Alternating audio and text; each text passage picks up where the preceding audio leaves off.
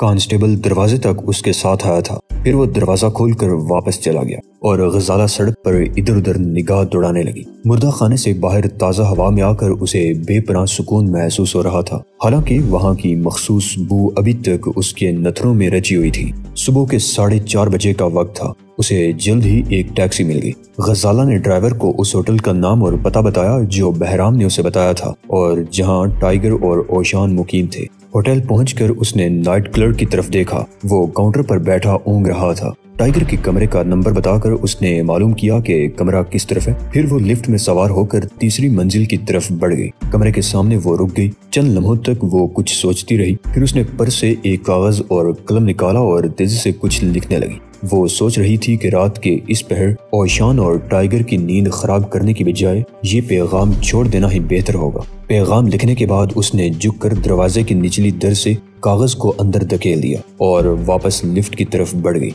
ओशान उसी कमरे की चटाई पर गहरी नींद सो रहा था। जैसे ही कागज़ दरवाजे के नीचे से अंदर पहुँचा, वो बेदार हो गया। हालाँकि कागज़ की खफीफ सी आवाज़ भी पैदा नहीं हुई थी और न ही गजाला ने राहदारी में चलते वक्त पैरों से कोई आवाज़ पैदा करने की कोशिश की थी। ओशान ने महसूस किया कि दरवाजे के नीचे से कोई चीज़ अंदर आई है। वो बिल्ली की तरह बे आवाज़ चलता हुआ दरवाजे तक पहुँचा। चंद लम्हों तक वो बेहिसो हरकत खड़ा रहा। फिर नीम तारीकी में उसने झुक कर कालीन से कागज़ का वो टुकड़ा उठा लिया, जिसे गजाला अंदर डाल गई थी। टाइगर उस वक्त दूसरे कमरे में सोया हुआ था। ओशान ने कागज़ पर निगाह डाली। लिखने वाले ने टाइगर को मुखातिब किया था। ये देख कर के खत उसके नाम नहीं, ओशान ने उसे मजीद पड़े बगैर चुरमरा कर दोबारा कालीन पर फेंक दिया। और आहिस्ता आहिस्ता घास की बनी हुई उस चटाई की तरफ़ बढ़ गया, जिस पर वो कुछ देर कबल सो रहा था। अगले ही लम्हे वो दोबारा गहरी लेकिन बाखबर नींद में खो गया। डॉक्टर स्टोन की आँखों से नींद गायब थी। इस वक्त वो लाइफ लाइन लेबार्ट्रीज के ऊपर वाकई अपने अपार्टमेंट की खाबगाह में लेटी हुई थी।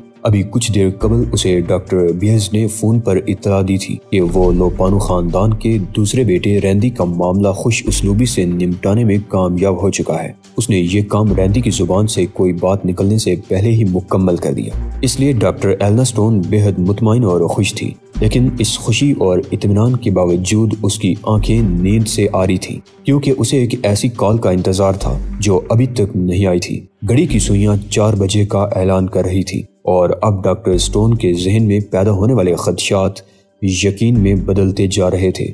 वो ये सोचने पर मजबूर हो गई थी कि उसने जिन दो आदमियों को ओशान और टाइगर के कत्ल पर मामूर किया था, अब उनकी तरफ़ से उसे कभी कोई कॉल नहीं की जाएगी। उन्हें अब तक काम मुकम्मल करके न सिर्फ़ वापस आ जाना चाहिए था, बल्कि उनकी तरफ़ से कॉल भी आ जानी चाहिए थी, और ऐसा न होने का साफ़ मतलब था। कि हुकूमत के वो दोनों एजेंट उन दो आदमियों को ठिकाने लगाने में कामयाब हो चुके हैं। ओशान शहजाद। वो बड़बड़ाई। ये दो नाम उसके जहन पर सवार थे और उन्हीं की वजह से उसकी नींद आँखों से दूर हो गई थी। उसे याद आ रहा था कि जब इस नौजवान शहजाद से उसकी निगाहें चार हुई थी तो उसके दिलो दिमाग की क्या हालत हुई थी। उसे पहले कभी महज किसी की आँखों से इतनी घबराहट का एहसास नहीं हुआ था। इसके अलावा रेंदी को उन्होंने जिस अंदाज में मरने से बचा लिया था, ये बात किसी तरह भी उसकी समझ में नहीं आ रही थी। बिलाशुबा बाद में डॉक्टर बियर्स उसे हलाक करने में कामयाब हो गया था, लेकिन रैंदी को उसी हालत में मरना चाहिए था, जो उसने रैंदी पर तारी की थी। तमाम तर तिब्बी उसूलों के मुताबिक रैंदी की मौत वाक़ हो जानी चाहिए थी। फिर ओशान और शहजाद उसे बचाने में कैसे कामयाब हो गए थे? ये दोनों उसके लिए एक चैलेंज की हैसियत इख्तियार कर गए थे। उसके जिस्म में एक सर्द सी लहर दौड़ गई और वो काँप गई। वो एक सफाक औरत थी और इसमें बमिसमी थी। उसका नाम ही स्टोन नहीं था, बल्कि उसके सीने में भी दिल की जगह एक स्टोन रखा हुआ था। एक ऐसा स्टोन जो तमाम इंसानी जज्बों से आरी था, जिसमें रहम की एक खफीफ सी धड़कन भी पैदा नहीं होती थी। इसके बरक्स वो हसीन सरापा और गोश्त पोश्त वाली एक पुरकशिश औरत थी। लेकिन अगर उसे एक मैकानिकी औरत कहा जाए तो बेचाना होगा। सोचते सोचते अचानक ही उसके आसाब पर खौफ सवार हो गया और ज़िंदगी में पहली बार न सिर्फ़ दहशतदा हुई, बल्कि वो ये सोचने पर भी मजबूर हो गई कि उसे इस मामले से अब किनारा कशी इख्तियार कर लेनी चाहिए। उसने ये ख्याल फ़ौरन ही जहन से झटक दिया। वो इस मामले से हाथ नहीं खींच सकती थी, क्योंकि मामला करोड़ों डॉलर का था और निमराफ ने उससे वादा किया था कि लोपानो खानदान की ये सारी दौलत उसी को दे दी जाएगी। इसके अलावा निमराफ जिस मिशन पर काम कर रहा था, इसमें उसे एक अहम हैसियत भी हासिल होने की तो थी। डॉक्टर स्टोन नहीं कि वो एक दलदल में फंस गई है। इससे निकलना मुश्किल है। निकलने का दूसरा मतलब बेबसी की मौत था, और वो किसी भी सूरत मरना नहीं चाहती थी। उसके होठों पर एक शफाक मुस्कुराहट आ गई। मेरे ख्वाबों की तकमील में कोई भी चीज़ मुजाहिम नहीं हो सकती। उसने खुद कलामी के अंदाज में कहा मैं अपने ख्वाबों को ताबीर से हमकिनार किए बगैर नहीं रहूँगी। इस अज़म ने उसे सुकून दिया। आसाबी कशीदगी कम हो गई और अगले लम्हे उसकी हसीन पलकों ने पुरकशिश आँखों को छुपा लिया और पलके नींद के बोझ से बंद होती चली गई। गजाला ने गहरी निगाह से दरवाजे का जायजा लिया। लाइफ लाइन लिबार्ट्री के अकबी दरवाजे में अलार्म के तार मौजूद थे। यही वजह थी कि उसने दरवाजे को छूने की कोशिश नहीं की। कुछ देर सोचने के बाद उसने अपना पर्स खोला। उसमें से एक तार निकाला। उस तार के दोनों तरफ़ चिपक जाने वाले क्लिप लगे हुए थे। चलते वक्त वो एक इम्कानी सूरत हाल के ख्याल से ये तार साथ लेती आई थी और अब यही उसके काम आ रहा था। उसने खामोश अलार्म के तारों को उस तार में उलझा कर क्लिप दाएँ बाएँ चिपका दिए। इस तरह उन बारीक तारों की कारकर्दगी खत्म हो गई, जिनसे अलार्म जाग कर आसपास के लोगों को भी जगाने का बायस बन सकता था। तारों की तरफ़ से मुतमान होने के बाद उसने पर से ताला खोलने वाला औज़ार निकाला। और दरवाजे के लाक पर झुक गई। दरवाज़ा खोलने में उसे ज़्यादा देर नहीं लगी। उसने ताला खोलकर कीवाड़ खोले और बेआवाज कदमों से लिबार्ट्री में दाखिल होकर दरवाज़ा बंद कर दिया। अलार्म खामोश रहा। इसका मतलब था कि वो उसे नाकारा करने में कामयाब हो गई थी। लेकिन इस कामयाबी का यह मतलब नहीं था कि वो बेफिक्र हो जाती। वो महसूस कर रही थी कि उसने मौत के घर में कदम रख दिया है। अभी कुछ ही देर कबल उसने जाक और उसके साथी की लाशें अपनी आँखों से देखी थी और अंदाज़ा होता था कि मामला किस कदर सफाक मुजरमों से ताल्लुक रखता है। वो दरवाज़ा बंद करके उसे पीठ लगाकर खड़ी हो गई। उसे देर तक वहीं खड़े रहना पड़ा जब उसकी आँखें तारीकी से मानूस हो गईं, तो उसने देखा कि सामने ही दीवारों के साथ साथ अनगिनत पिंजरे रखे हुए हैं और इन पिंजरों में कोई ना कोई जानवर भी मौजूद था। पिंजरों में मुख्तलिफ़ अजसाम देख कर उसे जल्द ही अंदाज़ा हो गया कि बेशतर पिंजरों में चूहे बंद हैं, सफ़ेद और बुरे चूहे। आमतौर से खातन चूहों से खौफजदा हो जाती हैं, लेकिन गजाला उन औरतों में से नहीं थी। उसने 10 साल की उम्र में एक ऐसे चूहे को सैंडल की एड़ी से मार मार कर हला कर दिया था, जो उसके बिस्तर में घुसाया था। वो जानवरों से दहशत जदा होने वाली लड़की नहीं थी, क्योंकि उसका नज़रिया था कि जानवर खुद इंसान से खौफ खाते हैं इसलिए किसी खौफजदा चीज़ से दहशत जदा होना हमाकत नहीं तो और क्या है? वो बेहिसो हरकत खड़ी उन्हें देखती रही। ये ख्याल अचानक ही उसके जहन में आया था कि यकीनन जाक भी इस लिबार्ट्री में आ चुका है और उसे यहीं से पकड़ा गया होगा। उसकी लाश गजाला की निगाहों में घूम गई और उसे अपने जिस्म में सनसनी की लहर सी दौड़ती महसूस होने लगी। अचानक उसे याद आया कि बहराम ने सख्ती से मना किया था कि वो कोई ऐसा इकदाम तरह ना करे। अगरचे वो टाइगर के कमरे में एक पैगाम छोड़ आई थी। लेकिन अब ये एहसास शदीद तर होता जा रहा था कि उसने यहाँ तरह आकर बहुत बड़ी गलती की है। लेकिन अब तो वो अंदर आ ही चुकी थी, इसलिए पीछे हटना भी उसकी फितरत के खिलाफ था। उसे महसूस हुआ कि उसका जिस्म ठंडे ठंडे पसीने में बीगता जा रहा है। डॉक्टर स्टोन की आँख खुल गई। अगरचे उसे सोए हुए पंद्रह बीस मिनट ही हुए थे, लेकिन ठीक साढ़े चार बजे सुबह वो तहकीकी काम के लिए लिबार्ट्री जाने की आदि थी और इसी आदत के तहत उसकी आँख खुल गई थी। वो एक अंगड़ाई लेकर उठ गई। उसने ब्लू जीन्स और प्लेन शर्ट में अपना कयामत खेज सरापा कैद किया और लिबार्ट्री जाने के लिए तैयार हो गई। वो गुजश्ता कई दिनों से चूहों पर एक तजर्बा कर रही थी और उसका तजर्बा कामयाबी से हमकिनार हो चुका था। उसने चूहों को मुख्तलिफ़ दांतों से खौफजदा होने का तजर्बा किया था और चूहे अब उसकी ख्वाहिश के मुताबिक उन दांतों से डरने लगे थे।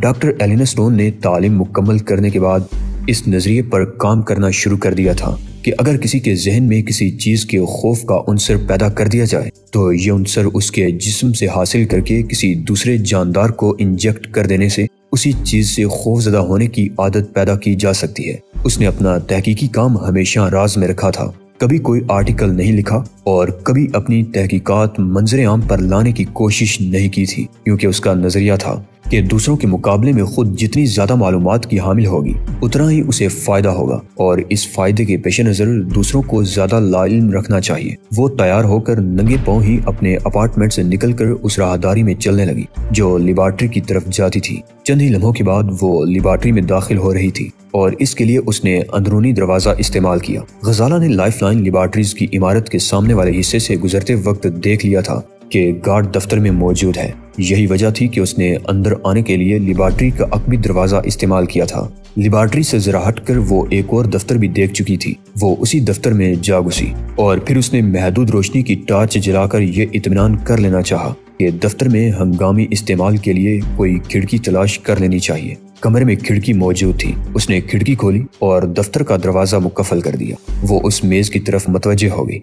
जिस पर डॉक्टर एलिना स्टोन की तख्ती रखी हुई थी। उसने मेज पर रखा हुआ लैंप रोशन कर दिया और मेज के अकब में रखी हुई अलमारी की तरफ़ तवज्जो मरकूज कर दी। ये अलमारी मुकफल थी। उसने ताला खोलने वाला औज़ार निकाला और उसे चंद ही लम्हों में खोल लिया। बालाई दराज खोलते वक्त उसके होंठ बे आवाज़ सीटी बजाने के अंदाज में सुकड़ गए। उस वक्त वो बेहद मसरूर थी। हर खौफ और हर खदशा उसके जहन से मैव हो चुका था। इस दराज में लोपानू खानदान के अफराद की मेडिकल फाइलें थी। खानदान के सरबरा अहमर बड़े बेटे लोमर, दूसरे और तीसरे बेटे रैंदी और डेगली की फाइलें तरतीब से रखी हुई थी।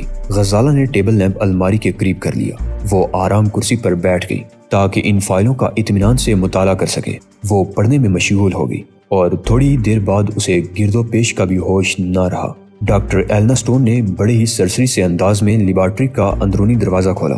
दरवाज़ा गैर मुकफल करके वो जैसे ही अंदर आई, दीवार के साथ लग कर खड़ी हो गई और अगले लम्हे उसका पूरा जिस्म जैसे मुंजमिद सा होकर रह गया। हाल के आखिरी हिस्से में वाकई उसके दफ्तर के दरवाजे की निचली दर्ज रोशन थी। इसका मतलब था कि कोई अंदर मौजूद है। दरवाज़ा अकब में बंद करके वो दबे कदमों अपने दफ्तर की तरफ़ बढ़ गई। उसके पैरों में जूते नहीं थे, इसलिए यूँ भी उसके कदमों से आहट नहीं पैदा हो रही थी। इसके बावजूद वो किसी बिल्ली की तरह कदम उठाती हुई दफ्तर तक पहुँची थी। दरवाजे के बालाई हिस्से में शीशे लगे हुए थे। वो एक शीशे के किनारे से अंदर झांकने लगी। उसके दफ्तर में एक औरत बैठी थी। ये एक स्याफाम लेकिन हसीन पुरकशिश और जवान औरत थी। वो उसकी घूमने वाली कुर्सी पर बैठी। फ़ाइल कैबिनेट से फाइलें निकाले बड़े इन्हेमाक से मुताला कर रही थी। कुर्सी के अकब में दफ्तर की खिड़की खुली थी। डॉक्टर स्टोन समझ गई कि उसे औरत ने हंगामी हालात में फरार होने के लिए पहले से खोल रखा है। डॉक्टर स्टोन हैरत जदा रह गई। ये औरत कौन है? वो सोच में पड़ गई।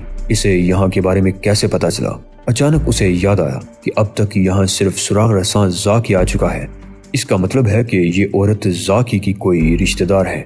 गोया जाकी यहाँ आते वक्त इस औरत को बता कर आया था कि वो कहाँ जा रहा है और जब वो वापस नहीं गया तो ये उसकी तलाश में यहाँ पहुँची है। अपने नंगे पैरों से बे आवाज़ चलती हुई वो दरवाजे के सामने से हट गई और लिबार्ट्री के फ्रंट डोर की तरफ़ बढ़ने लगी। हाल की तरफ़ जाने वाली राहदारी में एक अलमारी खोलकर उसने कुछ टटोला और फिर कोई चीज़ उठाकर अपनी कमीज के अंदर रख ली। अब वो अलमारी बंद करके इमारत के सामने वाले दफ्तर की तरफ़ जा रही थी, जहाँ गार्ड बैठता था। जैसे ही उसने कमरे में कदम रखा, गार्ड ने वो फिल्मी रिसाला जल्दी से मेज के नीचे फेंक दिया, जिसका वो मुताला कर रहा था।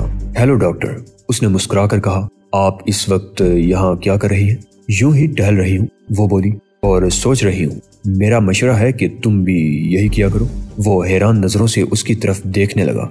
डॉक्टर स्टोन ने उसे अपना मौकफ समझाया। तो उसने पूरी तरह समझ में न आने के बावजूद असबात में सर हिला दिया और आमादगी ज़ाहिर की कि वो जैसा कह रही है, वैसा ही करेगा। डॉक्टर ने बेरोनी दरवाज़ा खोला और दिसंबर की इस यख बस्तारात में नंगे पाँव ही बाहर निकल गई।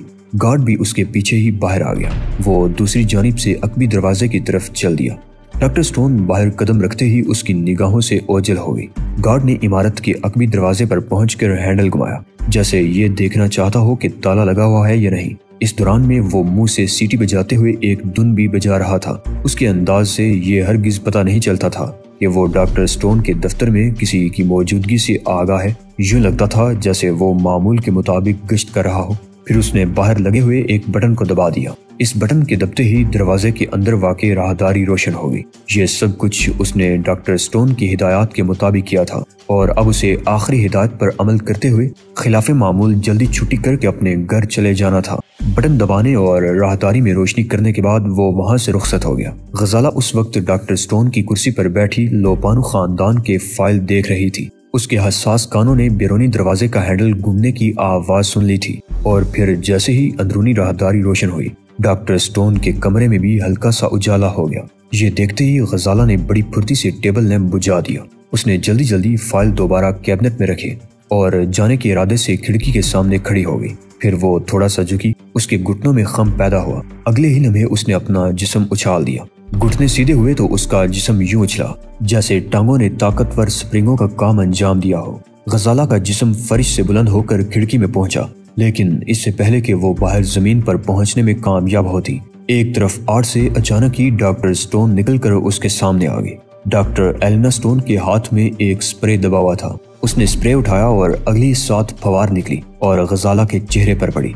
फिर वो यूँ उलटकर वापस दफ्तर के फर्श पर गिर गई, जैसे किसी ने बाहर से घूसा मारकर उसे अंदर फेंका हो। स्प्रे से निकलने वाली फवार उसके चेहरे पर जहाँ जहाँ पड़ी थी, वहाँ गुदगुदी जैसा एहसास हो रहा था, लेकिन आँखों में यूँ लग रहा था, जैसे किसी ने मिर्चें छिड़क दी हो। उसे अपनी आँखें शिद्दत से जलती महसूस हो रही थी। ये एक ऐसा झटका था, जिसने गजाला की साँसें बेतरतीब कर दी, और अब उसे यूँ लग रहा था, जैसे उसका दम उलट रहा हो। उसके फेफड़े हवा से खाली होते जा रहे थे।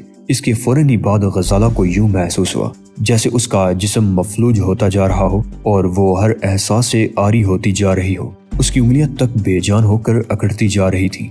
वो अब किसी चीज़ पर गिरफ्त रखने के काबिल नहीं रह गई थी। दफ्तर के फर्श पर गिरने के चंद ही लम्हे बाद वो गिरदो पेश से बेखबर हो गई। डॉक्टर स्टोन खिड़की के बाहर खामोश खड़ी थी। उसकी आँखों में फतामंदी के तासुर के साथ उलझन भी नज़र आ रही थी। जब उसे यकीन हो गया कि फरार होने वाली स्याफाम औरत बेबस हो चुकी है तो वो आहिस्ता आहिस्ता खिड़की के करीब आ गई। उस वक्त भी वो बरहना पा थी। खिड़की के बाहर पड़ी नोकीली कंकरियों से बचती हुई, खिड़की से वो दफ्तर में दाखिल हुई और फिर उसने खिड़की के पट बीड़ दिए। वो अपने दफ्तर के अंदरूनी दरवाजे पर पहुँची और उसे खोल कर रोशन राहदारी में निकल आई। फिर उसने इतमान कर लिया। कि गार्ड उसकी हिदायत के मुताबिक छुट्टी करके अपने घर जा चुका है। हर तरफ़ से मुतमान होकर वो वापस अपने दफ्तर में आ गई और फिर आहिस्ता आहिस्ता खिड़की के करीब बेहोश पड़े जिस्म की तरफ़ देखने लगी। वो देखना चाहती थी कि उसने किसे रंगे हाथों पकड़ा है। टाइगर सोकर उठा तो सूरज तुलू हो चुका था। वो दूसरे कमरे में आया तो ओशान घास की बनी हुई चटाई पर बैठा छत को गो रहा था। वो इस वक्त कमल के आसन में था। क्या बात है, लिटिल फादर? आप सोए नहीं। कोई खौफनाक ख्वाब तो नहीं दिखाई दिया। किसी की बात का जवाब देना एक इखलाकी तकाजा है। मैं ठीक से सो नहीं सका। ओशान बड़बड़ाया। टाइगर दिल ही दिल में मुस्कुराने लगा। ओशान इखलाको आदाब का बहुत ख्याल रखने वाला आदमी था और उसने ओशान की इसी दुखती रग पर हाथ रखा था। वरना इस वक्त वो जितने खराब मूड में था, उसे बोलने पर मजबूर करना बेहद मुश्किल काम था। लेकिन टाइगर को हैरत थी कि ओशान ठीक से सो क्यों नहीं सका। वो एक रूहानी पेकर था। उसकी ज़िंदगी का एक एक लम्हा खुशगवार गुजरता था। ऐसे शख्स की बेखाबी बिला वजह तो नहीं हो सकती। मुझे अफसोस है, लिटिल फादर, शहजाद ने हमदर्दी से कहा, होना भी चाहिए। ओशान गुस्से से बोला, वो अब बूढ़ी हो चुकी होगी। टाइगर बड़बड़ाया, और ये भी मुमकिन है कि उसका इंतकाल ही हो गया हो। ज़ाहिर है, आपने जिसे ख्वाब में देखा होगा, वो आपकी जवानी के दौर की कोई लड़की होगी। कहीं आपने उसे पोतों और पोतियों के नरगे में तो नहीं देख लिया। औरतों का ख्याल छोड़ो, ओशान का लहजा बदल गया। ये ख्याल ज़्यादा अरसे तक जहन में रहे तो अकल को चरना शुरू कर देता है। आदमी की अकल खत्म हो जाती है, और फिर खोपड़ी में औरत ही औरत बाकी रह जाती है। और इसके बाद वो ख्वाबों में आकर बेखाबी पैदा करने लगती है। टाइगर ने लुकमा दिया। मैं कहता हूँ, क्या तुम्हारे मिलने वाले दिन के वक्त तुम्हें कोई पैगाम नहीं दे सकते, जो रातों को पर्चेबाजी करके दूसरों की नींद खराब करते हैं? इस बार ओशान का लहजा फाड़ खाने वाला था।